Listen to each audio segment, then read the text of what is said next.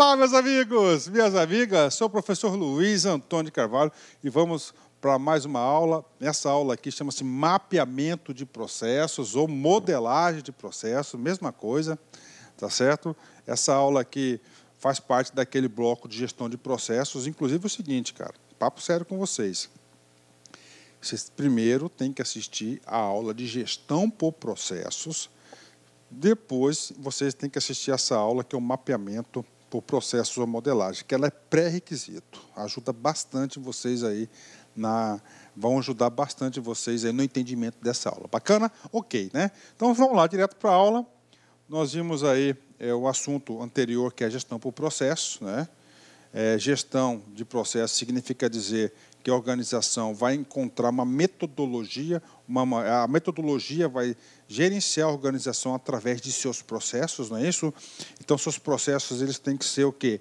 Identificados, os processos têm que ser analisados, têm que ser melhorados, têm que ser eficientes. E como que você vai melhorar esses processos? Você vai melhorar esses processos através da ferramenta chamada mapeamento de processo. Então, nessa ferramenta de mapeamento de processos, nós vamos melhorar os processos. Professor, dá uma ajuda à memória, lembrar rapidamente o que é um processo. Então, um processo, primeira coisa, você tem que entender já o juízo de valor. É, um processo o quê? É uma sequência de tarefas e atividades organizadas de forma sistemática, no quê? Ó, sistemática, organizada, não é isso? Para geração de valor, para produzir um produto para entregar para alguém. Esse alguém é quem? Esse alguém chama-se um cliente. Então, no primeiro elemento do processo, nós temos as entradas chamadas de input, temos aqui os fornecedores. Esses fornecedores vão fornecer o quê? Insumos, que podem ser matérias-primas, informações, N coisas. Né? Matérias-primas, informações, é, para quê? Para você ter uma escala produtiva desse processo. Então, fornecedores, tem insumos, aí tem os métodos e procedimentos, né? Procedimento 1, procedimento 2, procedimento 3. É, as pessoas que fazem parte desses procedimentos vão produzir alguma coisa, por exemplo, ó, procedimento 1, esse cara vai entregar um produto. Um produto para quem? Para o 2. Quem que é o cliente do, do, do quem que é o cliente do procedimento 1? Procedimento 2. Então, procedimento 2. Quem que é o fornecedor do procedimento 2? É o procedimento 1. Então, o procedimento 1 vai fornecer ó, insumos para o procedimento 2, ele vai fazer o que tem que ser feito, aqui tem um resultado previamente estabelecido, vai produzir o quê? Um produto que vai ser para o procedimento 3. E o procedimento 3 está na área que está finalizado, vai entregar um produto, que pode ser um bem ou um serviço. Esse bem ou serviço, olha só, é para entregar para um cliente. Né? Então, isso aqui que nós temos aqui, esse aqui é um processo. E a gestão do processo vai o quê? Vai adentrar a fundo dentro dos processos da organização, principalmente naqueles processos chamados processos prioritários. Primeira coisa, nós temos uma visão horizontal. Tá? Então, como é que funciona assim rapidamente? É o seguinte, vamos implantar uma gestão de processos aí na organização. Então, primeira coisa, você tem que constituir uma equipe de comando, uma equipe multidisciplinar, habilitada para implantar isso no órgão. Lá vão ter vários facilitadores. Né? Então, esses facilitadores, eles vão implantar a gestão de processo, eles têm que fazer o seguinte, eles têm que fazer um mapeamento dos processos. O que é feito o mapeamento? Vão em todas as unidades, perguntam quais são seus produtos prioritários ah, os meus produtos prioritários são esses. Então, produtos prioritários têm que ter processos prioritários. Então, esses processos prioritários têm que fazer o devido mapeamento. O que, que o mapeamento vai fazer? O mapeamento é simples. Primeira coisa, vai identificar, vai levantar como que as coisas são feitas. Faz o mapeamento. Está aqui. Vamos supor que esse aqui é o mapeamento. Depois, verifica-se o seguinte, tá? Qual que é a melhor maneira dos processos? Aí vamos, vamos analisar os dados. E na análise, percebe-se o seguinte, que esse procedimento 2 é um procedimento inútil. Por que, que ele é um procedimento inútil? Porque não agrega valor ao produto na percepção do cliente. Ou seja, o procedimento 2 tem que ser eliminado.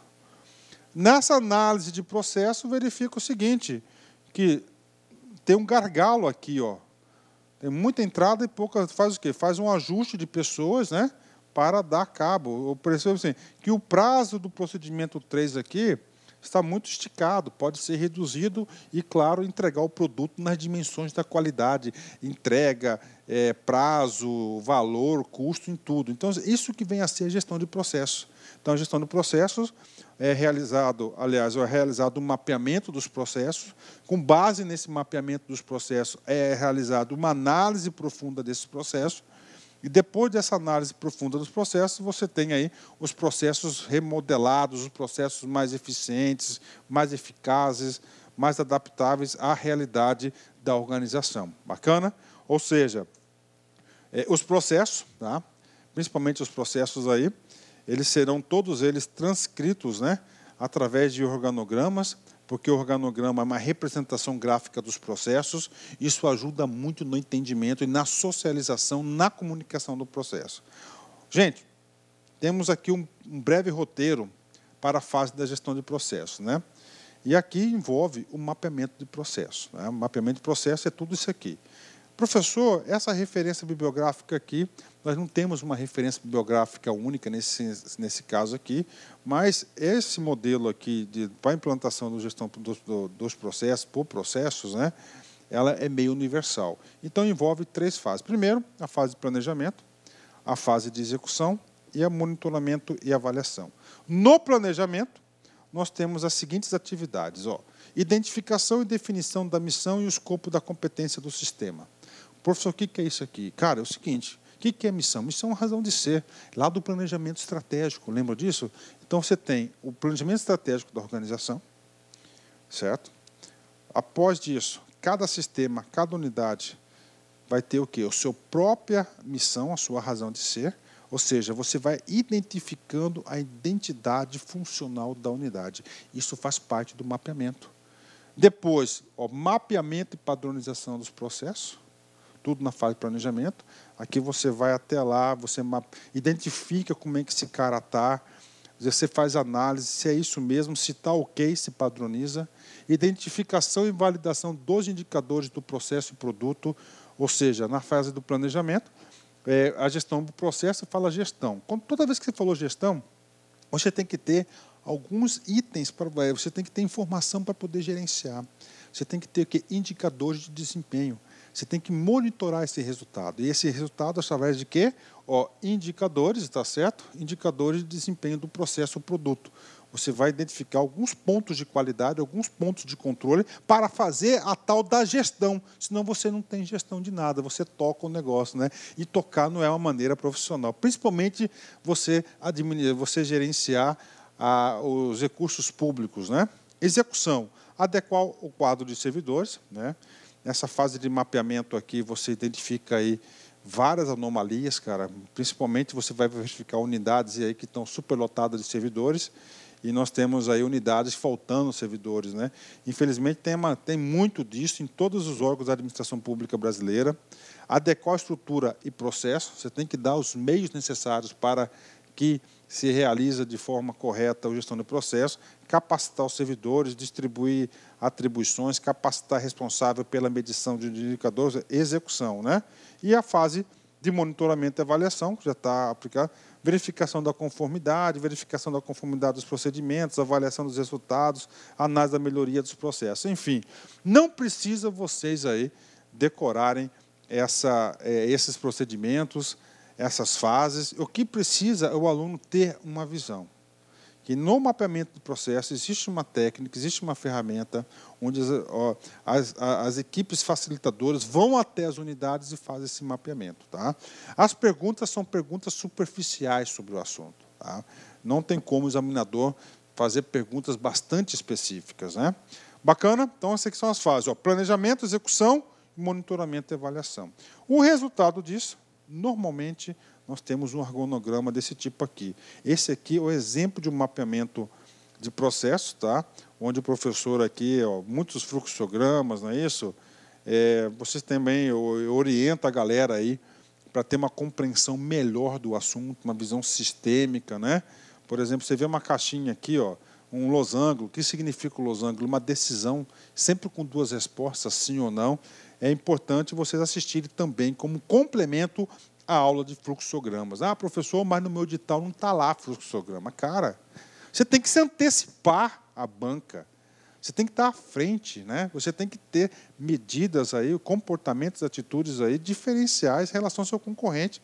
Por quê? Porque vai ajudar você a entender todo o procedimento. Bacaninha? Então vamos lá, fluxograma, então, orientação do professor aí, para que vocês aí assistam essa aula, né? Gente, eu peguei é, a estratégia dessa aula que o professor elaborou, usei alguns gráficos, algumas imagens, e agora a gente vem na parte de conceito da gestão de processo, mapeamento de processo. Cara, ó, mapeamento, definir o um mapa do processo, não é isso? Para você fazer a gestão do processo, obrigatoriamente você tem que executar essa fase, que é ir lá, verificar como, é, como é que é o processo atual executado, se tem documentação, se é eficiente. Depois você faz uma análise, você faz a modelagem, você aplica, padroniza, cobra o resultado da galera. Conceitos. O mapeamento de um processo fornece uma representação gráfica. Tá aí, parou. Essa representação gráfica tem um nome. Na altura do campeonato, você deve saber qual é o nome dessa representação gráfica. Essa representação gráfica chama-se de fluxograma, exatamente. Professor, não é organograma? Não, é diferente. Tá? Fluxograma é a representação gráfica das tarefas e atividades, de algumas tarefas ou atividades. Organograma é a representação gráfica da estrutura organizacional de uma organização. Então, mapeamento de um processo fornece uma representação gráfica das ações executadas, evidenciando a sequência de atividades, os agentes envolvidos, os prazos e o fluxo de entradas e saídas, informações e documentos em uma organização ou unidade. Professor, voltando o slide aqui, aí o cara aqui, ó, isso aqui é um mapeamento de um processo que foi realizado, tá? tá certo? Vamos para o mapeamento processo. Isso permite identificar mais facilmente oportunidades para racionalização e aperfeiçoamento dos processos de trabalho em uma organização. Professor, estou assistindo a sua aula de gestão de processos, assisti a sua aula de mapeamento de processo. Isso significa que eu já estou habilitado em fazer isso? Gente, é, dificilmente você vai estar. Por quê? Porque existe cursos na administração pública focado nisso aqui, exercícios, é, você tem um trabalho de treinamento no local de serviço para fazer o mapeamento do processo. Como disse antes, como é que é feito isso? Nos órgãos, normalmente eles contratam uma consultoria externa para capacitar consultores internos, uma equipe de trabalho, uma força de tarefa, para quê? Para aplicar essa metodologia, para gerenciar essa metodologia que é a gestão por processo, né? O mapeamento, o mapa, mapeamento, mapeamento de processo. Então, o mapa do processo pode apresentar elementos variados. Ó, a decisão vai depender dos propósitos objetivos envolvidos do mapeamento. Né? Consiste na identificação e desdobramento de todos os processos organizacionais de um ponto de vista global e sistêmico. Então, rapaz, isso aqui vai possibilitar você ter uma visão geral da empresa. É muito importante a gestão de processos, né, de por processos. Tem como um dos seus principais objetivos aumentar o domínio da organização sobre os processos organizacionais, né? Então, no final do mapeamento de processo, da gestão por processo, cara, como você foi a fundo em cada processo importante da organização, você tem a organização na sua mão, você tem controle sobre ela. E quando você tem controle sobre alguma coisa, significa dizer que você tem duas perspectivas. A perspectiva de otimizar isso, tá certo? De potencializar e você sabe até onde você pode ir, tá? Você tem, você tem uma, um diagnóstico importante, né? Poxa, eu posso fazer mais. A organização consegue mais, né? Esse domínio é imprescindível para que possam ser atingidos os objetivos organizacionais. Então, a gestão de processos possibilita você ter domínio da organização e tendo domínio da organização, você consegue ó, contribuir para o alcance dos objetivos organizacionais. Processos adequadamente mapeados possibilitam que se estenda o limite do seu conhecimento do plano individual para o geral, possibilitando o engajamento de um maior número de servidores. Então você vai se autoconhecer na gestão de processo. Professor, eu quero exemplos práticos. Bacana. Então, olha aqui, um sistema macro, um sistema, ou um sistema orçamentário, ou macro processo orçamentário de uma organização. Esse aqui é um sistema que ele é todo, totalmente mapeado, tá? tanto na administração pública federal quanto na administração pública estadual. Só para vocês terem uma ideia, ó, hierarquia dos processos. Lembra na aula de gestão de processo? Tem o macro processo, onde é o mais, é o mais sintético de todos os processos. Né? Ó, macro orçamento. Então nós temos aqui, ó, elaborar a lei orçamentária, é um macro processo. Ok? Dentro desse macro processo você tem um produto ou serviço. Qual que vai ser o produto ou serviço aqui de elaborar a lei orçamentária? A lei, a minuta de lei. Tá? A lei aprovada. Depois da lei aprovada, a regulamentação da lei, produto 2, e execução da lei, que é aplicar lá a, a, as fases da receita e da despesa do orçamento. Dentro desse macro processo aqui, ó, nós temos diversos processos necessários. E o mapeamento de processo vai, cada um deles, vai definir ó, quais são os produtos, como é feito, qual é o tempo, qual é o prazo, a documentação, qual é o cliente, que, ou seja, a visão lá de resultado, está agregando valor então, esse aqui é o exemplo do mapeamento de processos. Bacana? Simplesinho, assunto fácil, aluno aqui do LAC não tem condições de errar. Ele assistiu às nossas aulas, eu tenho certeza que ele vai mandar bem, né? Vamos para uma questão de concurso aí, para a galera aí, né? FCC, 2015. Determinada instituição pública vem enfrentando dificuldades na gestão, gerando desperdício e insatisfação aos seus clientes. Decidiu então adotar a gestão por processos que, então olha só, então determinada instituição está com problemas na satisfação dos clientes, certo? Então essa organização decidiu adotar gestão por processos. Então você já deve saber as principais características da gestão por processo. A. Ó, gestão por processos que desenvolve nos empregados que realizam atividades constantes nos processos mapeados, a visão ou pensamento sistêmico. Está aí, né? Cara, olha só, desenvolve nos empregados que realizam as atividades constantes nos processos mapeados, a visão ou pensamento sistêmico. Cara, o que, que acontece? Você está fazendo uma atividade 10 anos. Você faz por quê? Ah, porque me falaram que é assim, aprendi assim, estou fazendo. Na gestão de processos, na fase do mapeamento da gestão de processos, você é convidado a fazer uma reflexão por que, que você faz aquilo. Na, na, na, na, na gestão por processos, cara, quando está realizando a etapa do mapeamento do processo, você passa a ter uma visão sistêmica, ou seja, ah, eu estou fazendo isso, para completar trabalho tal e o meu trabalho vai resultar em tal trabalho, em tal resultado, né? É importante depois, é, depois do meu trabalho tem mais cinco trabalhos. Se eu não tiver, se eu errar nesse ponto aqui, eu vou impactar lá na frente. Ou seja, na gestão de processo, no mapeamento do processo, quando isso ocorre de fato de direito, o que, que acontece? Você proporciona às pessoas envolvidas no processo uma, uma visão ou pensamento sistêmico, ou seja, faz parte de um sistema, você faz parte do sistema. Ou seja, nessa questão aqui, que ajuda a nos explicar esse mapeamento de processo, a questão correta nós já encontramos, é a letra A. Mas vamos identificar os demais erros. Letra B.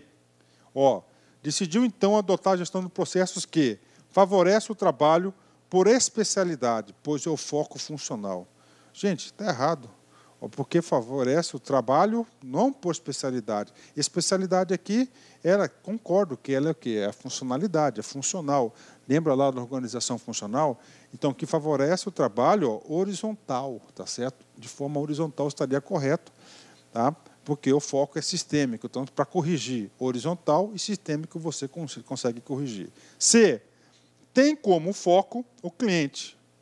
Correto, tem como cliente.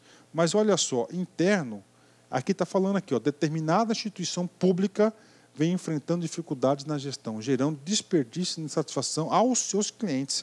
Então, esse cliente aqui, ó, ela está errado, porque no comando da questão, ele se refere ao cliente ó, externo. Ó, externo. Eu uso a tecnologia de informação para gerar um downsizing. Gente, downsizing está errado. O que é o downsizing? É uma ferramenta também de administração vinculado também lá na reengenharia, que é a diminuição gradativa dos quadros, né? eliminando burocracias desnecessárias. desnecessárias. Aí, nesse ponto da burocracia desnecessária, eu até concordo. Professor, mas dá uma ajudinha para a gente no downsizing. Sim, vou passar para você um exemplo para você entender. Porque aqui o estudo ele é integrado, você tem que entender. Downsizing, gente. Imagina uma banda completa, com 15 músicos, tá? Três baixo, quatro violão, três baixo, três violão, é, piano, tá, tem 15. Está em crise essa banda, não consegue pagar. O que, que ele faz? Tem 15 músicos. Ele vai, vou fazer um downsize bonito, chique, né? O que, que ele faz? Ó, pensamento, juízo de valor. Isso que eu quero implantar no seu chip aí. Ó, o que, que ele faz? Ah, vou eliminar um baixo, ficar com dois, bacana. Então o que, que acontece? De 15 você baixou para 14. Você está ouvindo, tal, tá? você, um usuário comum, você nem percebe a diferença de um baixo.